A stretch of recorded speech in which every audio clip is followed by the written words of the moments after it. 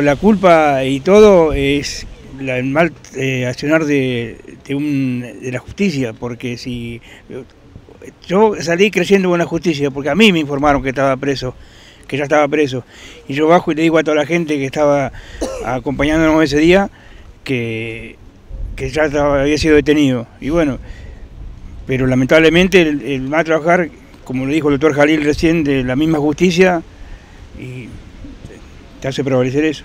¿Cómo crees que tome una noticia así? Mal, todo. Eh, no solamente los familiares, toda la gente de los, que los acompaña y todo lo han tomado de la misma manera.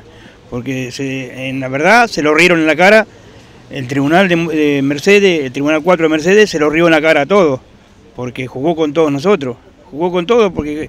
Eh, decirte una cosa así, y vos vas a tres días, como fue el doctor Jalil, y le informan, eh, lo informan eso,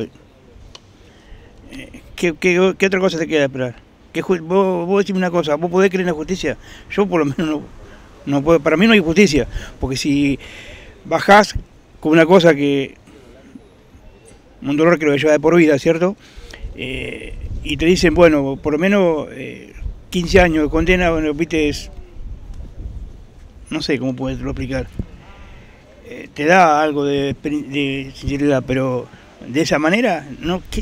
¿A dónde puede empezar la justicia? ¿Quién? Yo me tenía eh, en mente eh, de una compañera que está trabajando también con nosotros, que es Julia Torres, que le mataron al hijo. Y a él también se lo condenaron a 12 años al, policía que mató al hijo de ella. Y eh, se fue, se fue en libertad del juzgado. ¿Por qué? Por el mérito de que estuvo detenido, que no estuvo detenido nunca, ¿cierto? Y, este, ¿cómo es? y por buen comportamiento que tuvo esperando el juicio, se fue en libertad.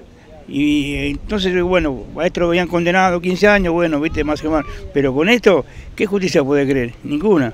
Porque se rieron, se rieron en la cara de todos nosotros, no solamente de los familiares, sino de toda la gente que los acompaña. Que gracias a Dios es mucha gente que los acompaña. No mayoría, pero acá Moreno, eh, el Moreno y eh, es la parte que más eh, muertos hay de chicos del gatillo fácil. Así que bueno, desgraciadamente tenemos eso.